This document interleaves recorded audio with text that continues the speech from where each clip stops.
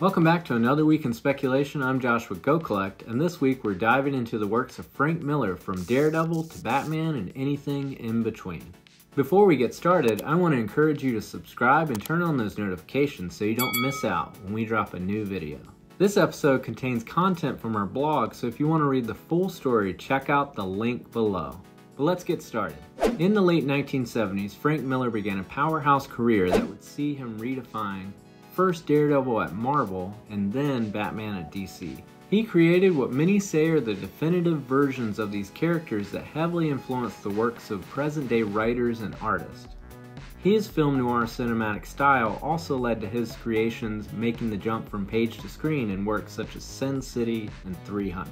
Perhaps no other comic book writer slash artist had as great of an impact on comic storytelling in the late Bronze and early Copper Age as Frank Miller. Miller's first published work was in the pages of Twilight Zone 84, published by Gold Key in June 1978.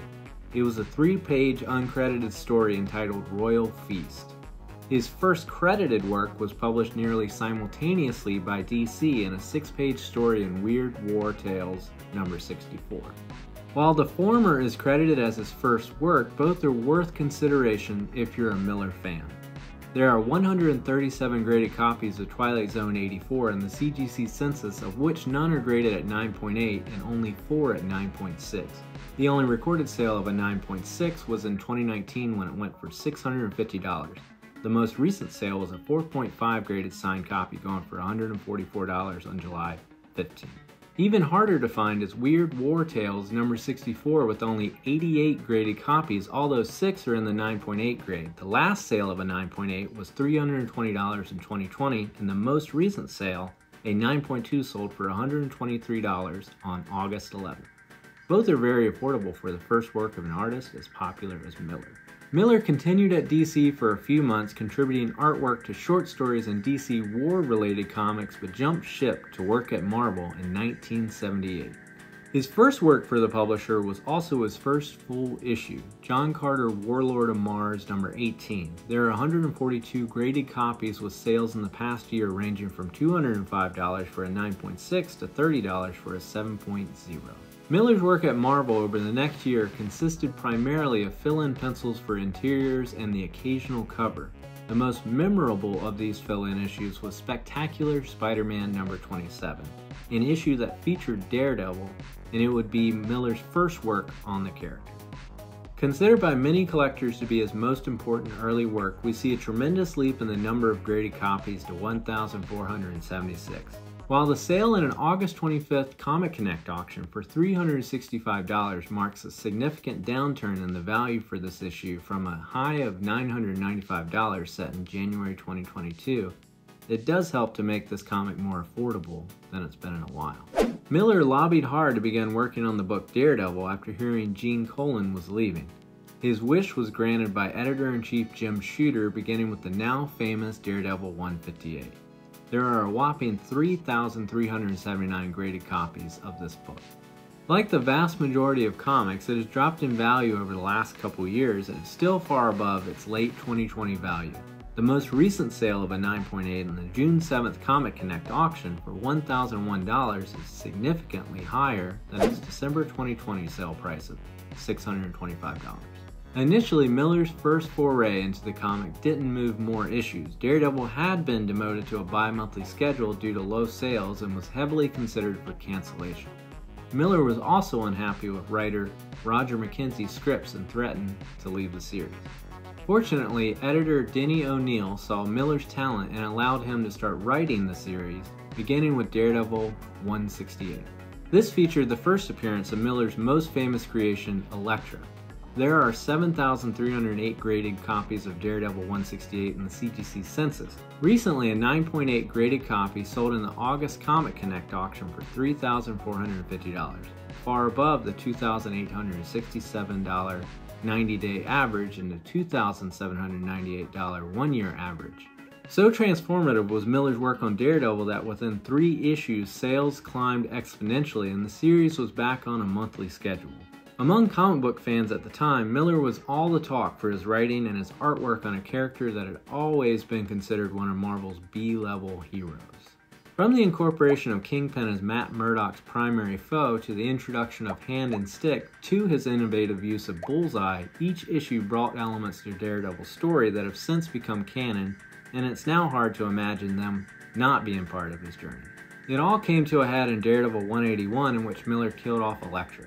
There are 6,913 graded copies of this issue. 9.8 values are on an upward swing with a 30-day average of $237, up from the 207 and 209 90-day and one-year averages respectively.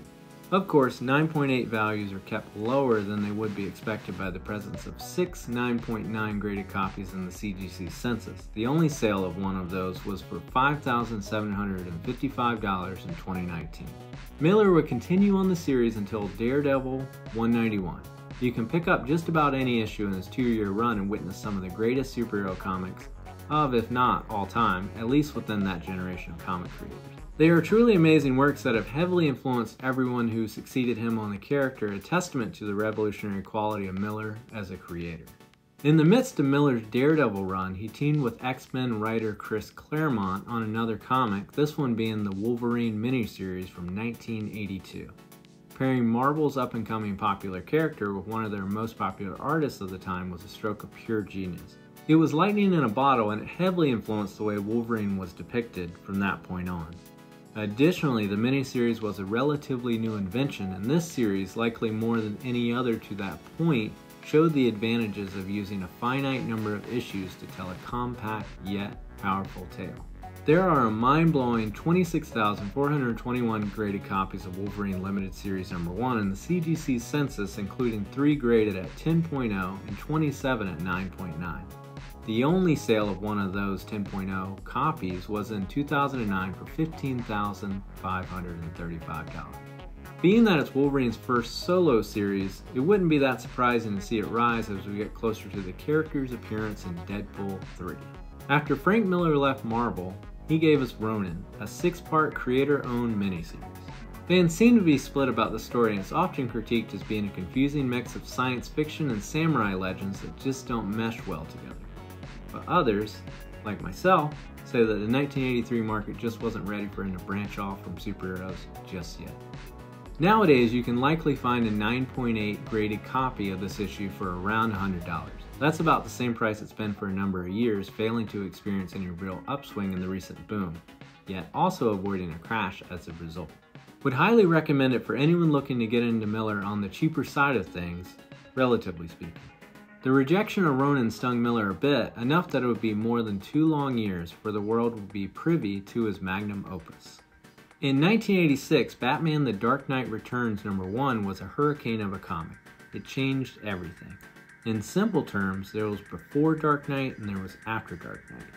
Coming in the midst of DC's post-crisis renaissance, it wasn't shocking that DC would do something to focus on Batman as they had with so many other characters, what readers received was beyond amazing. Besides being the first prestige format comic to be produced by any publisher, Miller offered fans the Batman they all secretly wanted, a grim and gritty, violent character who permanently laid rest to the outdated concept of the 1960s campy Batman television fame. It was, and to this day, nothing less than a comic publishing juggernaut that has no equal. There are 6,055 graded copies of Batman The Dark Knight Returns number 1 in the CGC census. One is graded at 9.9 and is never sold. For the 786 9.8 graded copies, values have dropped over the past year as evidenced by the current $870 30-day average when compared against the $1,093 one-year average. Value aside, any collector of the 1980s comic should have this issue in their collection. It is one of the most highly regarded and influential comics of the past 50 years at least, and whether graded or raw deserves its place in the hands of any collector or reader. As if The Dark Knight wasn't enough, nearly simultaneously, Miller returned to Daredevil. As writer only this time around, he teamed up with artist David Mazzucchelli to produce the Born Again 7-issue storyline that has, as with previous work on the character, become part and parcel of the Daredevil mythos. There are 655 graded copies of Daredevil 227, the first part of the story, in the CGC census. While an initial jump to a slightly above $1,000 occurred in the 9.8 grade upon the announcement of Daredevil Born Again on Disney Plus, it has since dropped down to values just north of 200, still nearly double what it went for in early 2021. A year later, Miller and Mazzucchelli teamed up once more, this time for the year one storyline, beginning with Batman 404. A smart and succinct four-part story that delved into Batman's origins, it was yet another work by Miller that added to the Caped Crusader's mythology in a way that has since become canon. With the plentiful 4,028 graded copies, it's not very hard to find. Selling for nearly $400 at the peak of the recent boom, 9.8 copies now sport 30-day and 90-day averages of just under $200. It's worth noting that Frank Miller also briefly moved to Hollywood where he worked on the script for 1990's RoboCop 2 and eventually also worked on RoboCop 3. Ultimately, he claims to have had a bad experience with writing since so much of what he wrote was changed by the directors. His RoboCop scripts were eventually made into the comic Frank Miller's RoboCop by Avatar Press.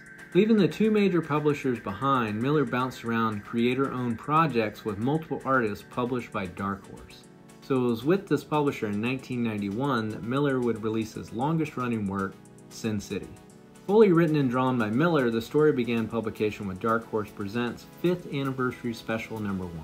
There are 266 graded copies of the most recent sale of a 9.8 for $850 on June 28. The series would go on to the big screen in a film directed by Robert Rodriguez and Frank Miller himself, which Miller has said was the exact opposite of his experience with Robocop, and he can't say enough things about working with the actors and Rodriguez alike. Miller's last great artistic work was the five-issue miniseries 300 published by Dark Horse in 1998 detailing the historical battle of 300 Spartans versus the might of Persia in 480 BC in all of its violent, bloody glory.